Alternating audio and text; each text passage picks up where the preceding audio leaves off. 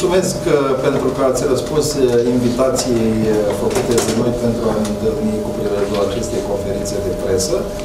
Este o conferință de presă pe care noi ne propunem de acum să o multiplicăm la începutul fiecarei luni.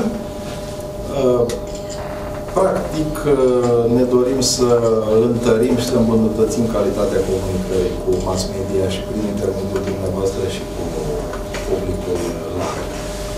Tema conferinței de presă de astăzi, în principal, este legată de ceea ce își propune organizația PSD municipală în raport cu activitatea consilierilor locale PSD în cadrul Consiliului Local al municipiului Bacău, raporturile pe care ne propunem să le avem și liniile directoare pe care ne propunem să le uh, asumăm în perioada următoare până la alegerile locale, în legătură, desigur, cu proiectele primăriei și propriile noastre proiecte de hotărâri de Consiliul Local. Și, sigur, nu în ultimul rând, prezentarea problematicii pe care și consilierii locale își doresc să o promoveze și modul în care doresc să promoveze activitatea în următoarele luni.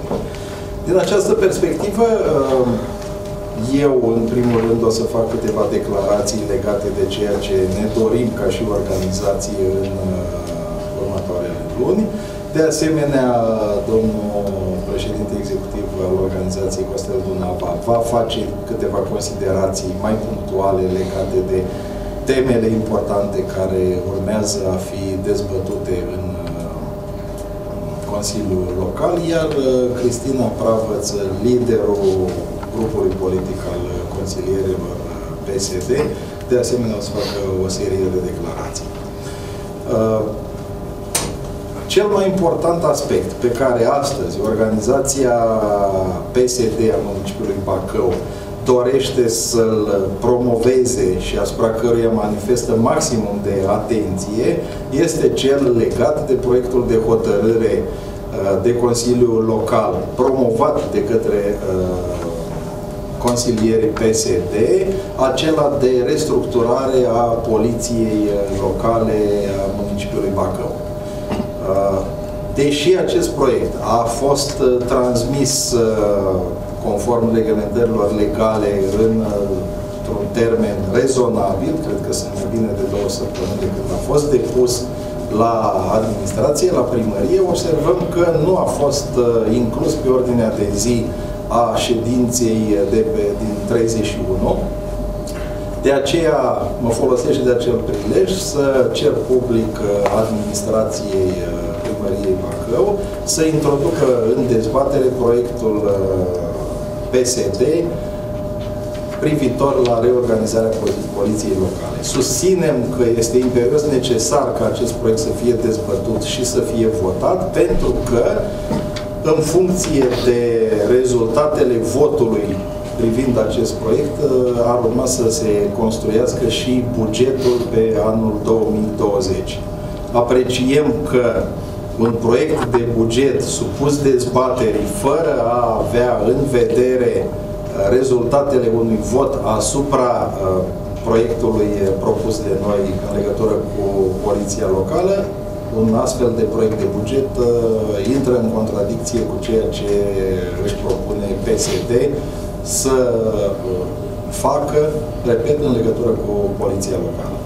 Mai pe scurt, transmit informația către uh, primărie că dacă proiectul de hotărâre de Consiliu privind reorganizarea poliției locale nu va fi supus dezbaterii înainte de uh, ședința privind uh, bugetul pe anul 2020, consilierii PSD, PSD nu susține uh, prezența consilierilor PSD la ședința privind uh, bugetul.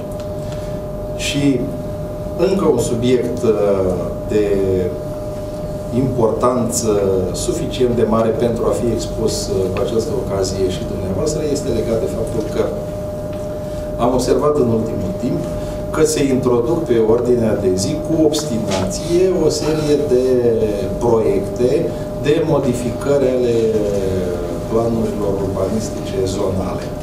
Transmit și pe această cale că PSD uh, își propune ca în perioada următoare să nu intervină de o manieră punctuală asupra uh, puzurilor. Nu susținem ideea că practic orice propunere venită din partea unor investitori legitim în a-și face orice plan de afaceri trebuie uh, forțată în Consiliul uh, Local în sensul de a fi aprobate aceste modificări de pluzuri. Rugăm administrația și pe această cale să manifeste responsabilitate în sensul că uh, totuși modificarea unor buzuri ar trebui să se facă de o manieră mai corelată. Atâta timp cât există un plan urbanistic zonal, un plan urbanistic general, care au o anumită coerență, poate discutabilă, dar totuși au o anumită coerență, intervenția punctuală, consecința unor inițiative private mai mari sau mai mici, dar care în principiu nu țin cont de ansamblul uh, reglementărilor și de ansamblul situației dintr-o anumită zonă a municipiului, nu trebuie să constituie priorități, cel puțin pe această ultimă sută de metri a unei administrații care ar fi putut, poate, în anii care au trecut, să facă mai mult și în acest sens. La sfârșitul conferinței, de fapt înainte de sfârșitul conferinței, sigur o să vă stăm la dispoziție și cu răspunsuri la eventuale întrebări pe care uh, le veți formula dumneavoastră. În ceea ce nu privește, acestea sunt declarațiile pe care am dorit să le fac. Îl rog pe uh, domnul Căstel Dunava să vă prezinte și el uh, chestiunile pe care le avem în vedere și care vor fi administrate din perspectiva președintelui executiv al organizației, după care, sigur, și Cristina Coabă îți va face câteva declarații. Mulțumesc! Bună ziua și la mulți ani! Cred că este prima dată când ne vedem anul acesta și, de asemenea, cred că este prima dată când ne vedem în acest format. Uh, insistăm pentru proiectul privind uh, reorganizarea și restructurarea Poliției Locale a municipiului Bacău, uh, datorită faptului că activitatea acesteia lasă mult de dorit. Considerăm că este oportun ca această structură să se axeze mai mult pe activități preventive și nu pe măsuri coercitive ca până în prezent. Vă dau un exemplu. Uh, anul trecut s-au aplicat amenzi de 1.800.000 lei, uh, din care s-au încasat 25%, uh, respectiv suma de 470.000 lei. Poliția locală a municipiului Bacău, așa cum este structurată în prezent, nu este un dat existențial fără de care municipiul Bacău nu poate funcționa. Uh, avem uh, exemple de succes. Vă dau exemplu de la Oradea, unde poliția locală este uh, structurată mult mai bine, la o populație de aproximativ 250.000 de locuitori, există 73 de lucrători. Nu mare nimeni dacă în municipiul Bacău, la o populație de aproape 200.000 de locuitori, poliția locală are 90 ceva de lucrători. De exemplu, noi am propus în proiectul de, pe care l-am depus la primărie ca poliția locală să aibă un număr de 98 de locuitori, adică un lucrător la 2000 de locuitori. De asemenea, în urma acestei reorganizări și restructurări, se vor realiza economii importante la bugetul local. Am estimat noi aceste economii la aproape un milion de euro, cu care se pot finanța alte activități. Uh, de exemplu, se pot asigura uh, bugetele în totalitate uh, la unele instituții terțiare, la unele instituții terțiare, cum este CSM Bacău, pentru a nu se mai întâmpla situații cum au fost cele de anul trecut, când sportivii și-au primit banii aferenți lunii decembrie în luna ianuarie 2020. Uh, de asemenea, cu acești bani se pot uh, face investiții în infrastructură, în iluminatul public și așa mai departe. Considerăm că nu este normal să lăsăm viitorul unor sportivi și a unor instituții la bunul plac a unor funcționari din primăria Bacău, care dacă vor alocă bani pentru funcționarea acestora sau dacă nu vor, nu alocă. Vă mulțumesc, vă rog pe doamna consilier Cristina Pravăț să prezinte punctul de vedere.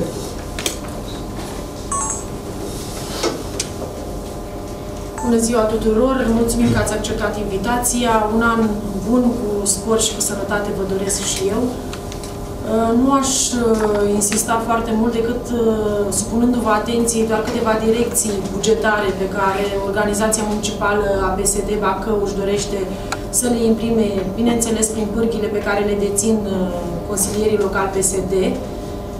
În acest sens, din capul locului vă anunțăm că susținem în continuare educația, susținem finanțarea performanțelor educaționale și nu finanțarea tovărășiilor și cumetrismelor de la vârful Poliției Locale Bacău.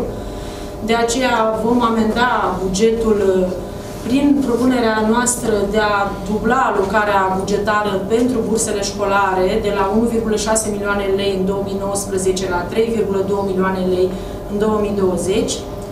De asemenea, pe aceeași linie a amendării bugetului propus uh, spre dezbatere, o să încercăm să ne asumăm și să îndeplinim o promisiune pe care am făcut-o seniorilor municipiului Bacău încă din anul 2016.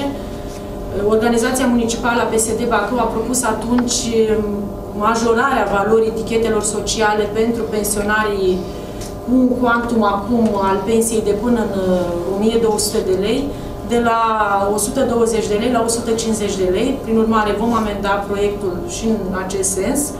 De asemenea, vă rugăm să ne aduceți la cunoștință o serie de propuneri de amendare a bugetului în sensul susținerii unor activități care să producă plus valoare municipalității Bacău.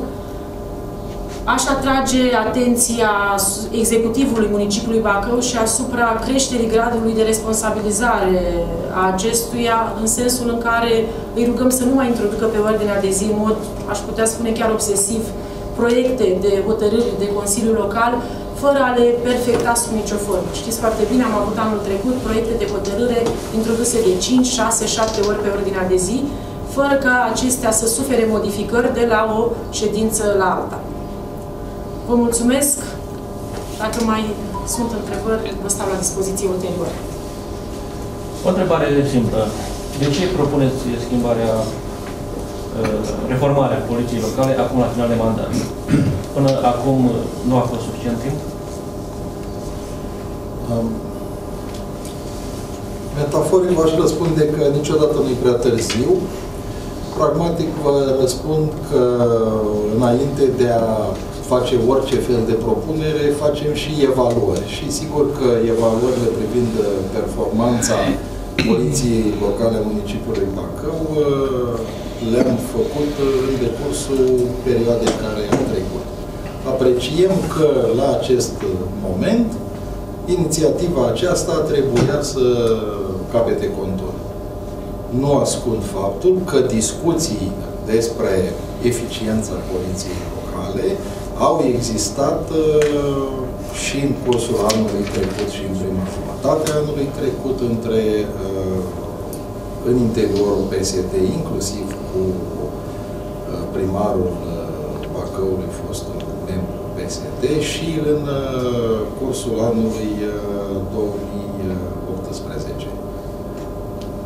Au fost discuții care nu s-au materializat în efecte așteptate, Acum uh, am uh, apreciat și lucrul acesta se întâmplă de ceva timp, de la sfârșitul ultimele luni ale anului 2019.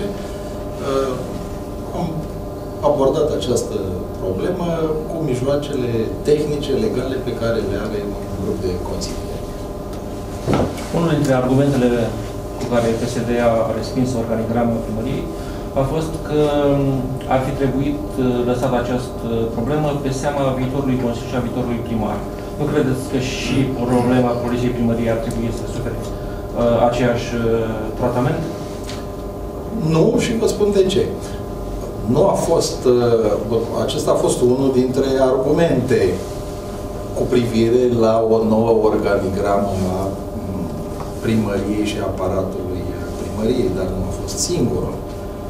În viziunea noastră, propunerile făcute de către uh, administrație privind modificarea organigramei, în multe locuri nu au întrunit uh, aprecierea de care ar fi fost nevoie pentru a susține acest uh, proiect de hotărâre de Consiliu Local.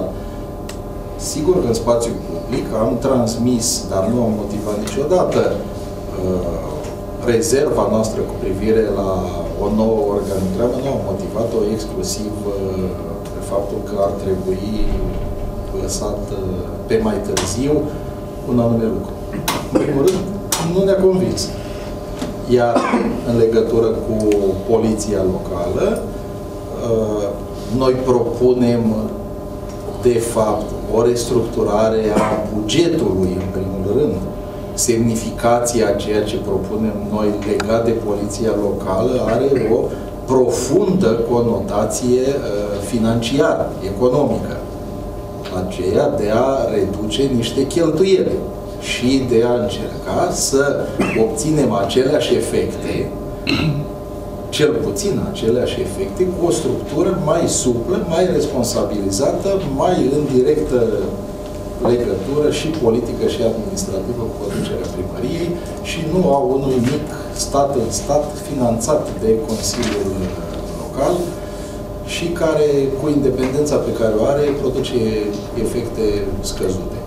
Și unul dintre aceste efecte scăzute este acela că în loc să manifeste prevenție, în loc să manifeste o conduită prietenoasă cu cetățeanul, în loc să-i vedem uh, în trafic, acolo unde sunt congestii la orele de vârf, încercând să fluidizeze traficul, de cele mai multe ori îi vedem pe uh, polițiștii locali uh, vânând abateri pe care uh, încearcă, de fapt le sancționează făcând niște procese verbale, care se traduc în amenzi ce ar trebui încasate și care nu sunt încasate, vedem din statisticile ultimului timp, nu sunt uh, încasate la bugetul uh, local.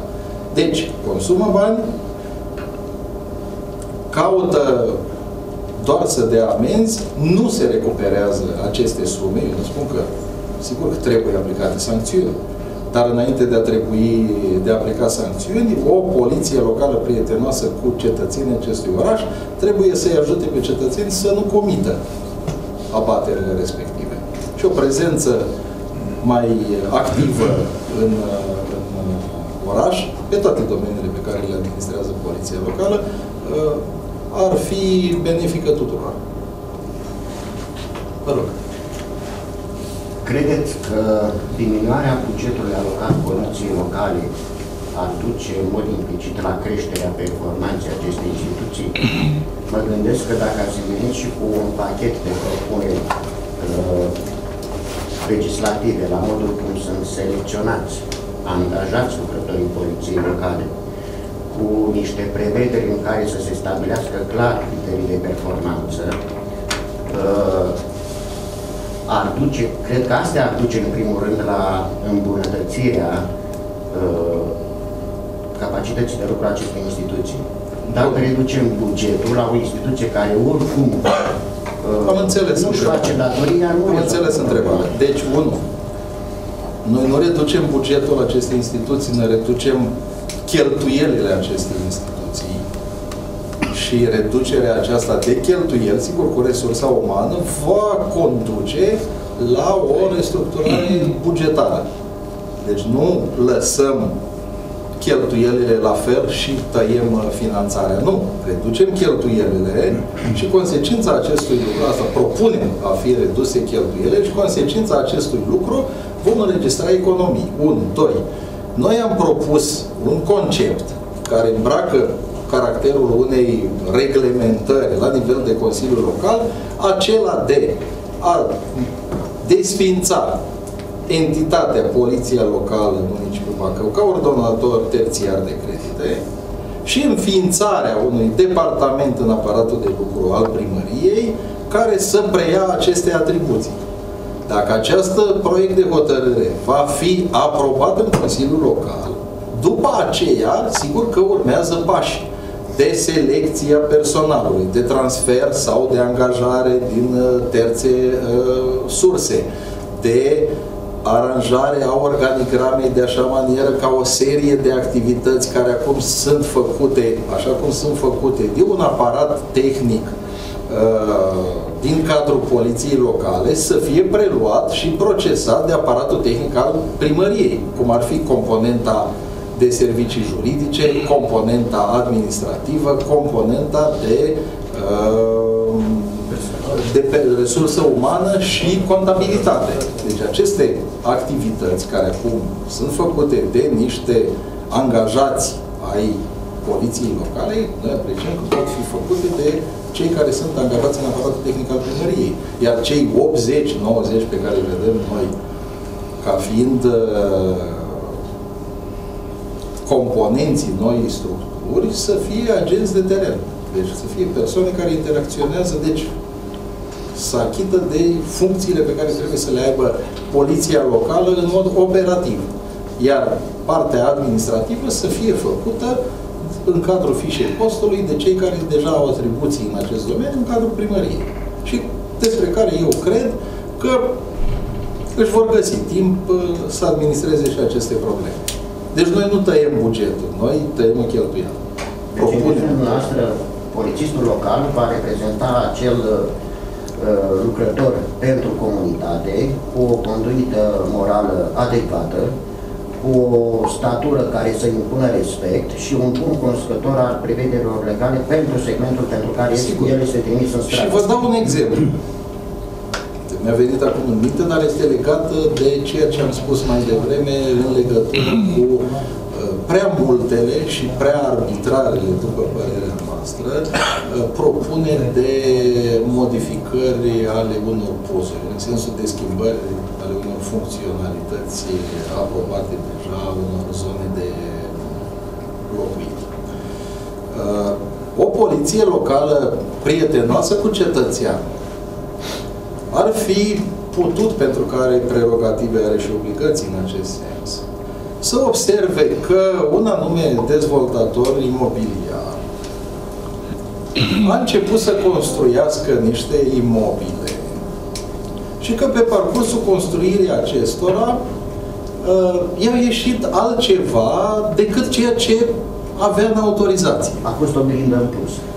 Uh, au fost niște apartamente în plus și o poliție locală prietenoasă ar fi putut, în cadrul obligațiilor pe care le are, să-i spună acelui dezvoltator, vedeți că cei care construiesc se abată de la planurile pe care le aveți și care sunt aprobate. Vă rugăm frumos să reevaluați situația și să vă încadrați în autorizația primită.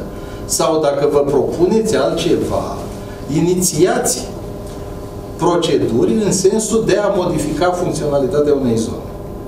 Acest lucru nu s-a întâmplat și poliția locală practic a creat un mare deserviciu acelui investitor care a ajuns în situația azi să fi construit altceva decât era autorizat să facă și să vină la primărie și să ceară acum uh, schimbarea funcționalităților zonei pentru a se încadra în prevederile legale lucru pe care consilierii PSD nu îl susțin. Noi apreciem că e bine dacă semaforul arată roșu să ne oprim. Nu să trecem pe roșu și apoi să cerem uh, primăriei să schimbe ordinea culorilor. Apreciați că poliția locală are anumite segmente care se suprapun cu poliția națională? A fost acesta un motiv pentru... Conceptul, fără a fi un expert în domeniu. Deci propun și propun spre dezbatere o anumită conduită și o anumită politică publică acest, privind poliția locală. Poliția locală, fundamental, atunci când a fost reglementată la nivel de reglementare națională, cred că s-a vizat această soluție ca municipalitățile să aibă o entitate care să desfășoare niște activități uh, identice sau complementare cu Poliția Națională și mai ales în domeniul rutier, uh, astfel încât uh, fiecare municipalitate, pe lângă resursele limitate de care beneficiază de la nivel național, în sensul că poliția națională are niște responsabilități și se achită de ele pe măsura capabilităților pe care le are, o municipalitate să îmbunătățească acest lucru. Și în domeniul rutier, cel puțin, că aici mi este și mai aproape așa, subiectul, uh, Poliția locală are câteva atribuții semnificative, acelea de dirijarea traficului, acela de management a respectării reglementărilor privind uh,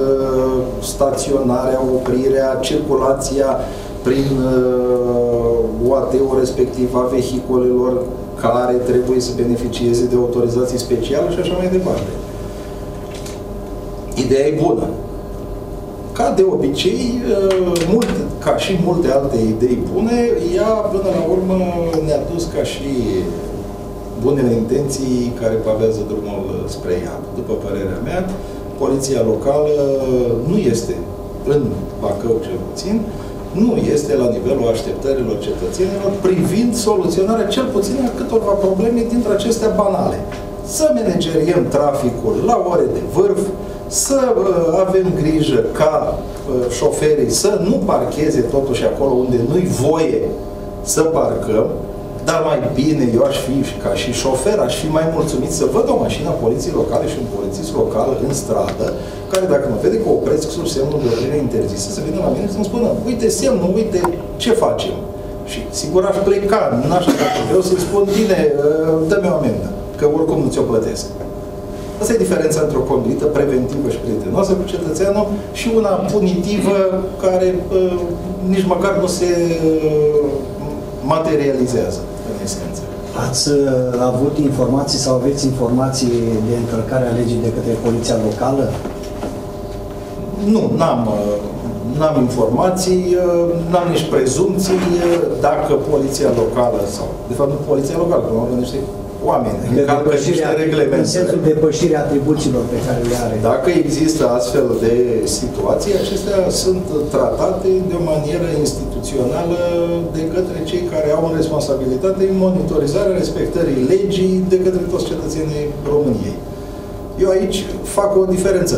Dacă un polițist local, un polițist național, un parlamentar, un oricine încalcă o lege, apoi ăla o încalcă. Nu Parlamentul României, nu Poliția Locală, nu Poliția Națională. Cetățeanul respectiv și sunt instituții plătite bine care trebuie să se achite de sarcini privind monitorizarea și sancționarea unor astfel de fapte antisociale. Mulțumesc. Mai aveți? Mai Știu că mai aveți o activitate. O singură întrebare. Vă rog. Uh, atunci, 28 februarie, vă rog să ne spuneți, se află cumva la această masă viitorul candidat uh, pentru primăria municipiului Bacău? Cred că se află în această, în această clădire, cred că sunt mai mulți candidați la primăria. Mi-a dat răspuns, sigur, mulțumesc. Uh, bun, pe final vreau să mai fac o declarație profit nu în uh, spiritul temei uh, pentru care v-am invitat, dar uh, nu pot să fac abstracție de acest lucru. Ca membru PSD, ca reprezentant al organizației municipale, dar și a celei județene, cer Direcției de Sănătate Publică și Ministerului Sănătății ca astăzi să ia măsuri privind reevaluarea situației de la Unitatea de Primire Urgenței, scandal despre care știți cu toții, în sensul anulării uh, sancțiunii date. Apreciem că acea sancțiune este, o, este un abuz comis de niște funcționari care practic uh, sfidează bunul simț uh, și al medicilor din spitalul județean, dar și al cetățenilor. Cuvântul depistare Cuvântul depistare înseamnă altceva decât eventual o suspiciune. Și rog directorul Direcției Sanitare, funcționarii din Direcția Sanitară, Ministrul Sănătății, să ia măsuri privind anularea acelei uh, sancțiuni absolut abuzive, expresia unei aroganțe de neimaginat. Iar Ministerul Sănătății să facă bine, să dea banii pentru al doilea reactor la radioterapie. Bolnavii de cancer, din acest județ și din România ar putea să le fie uh, recunoscători pentru așa ceva, nu pentru sancțiuni imaginare aplicate unor medici care și așa de fac față fluxului de pacienți. Și un mesaj și pentru Partidul Național Liberal, faceți, nu vorbiți, sunteți la guvernare, aduceți banii pentru reactorul 2.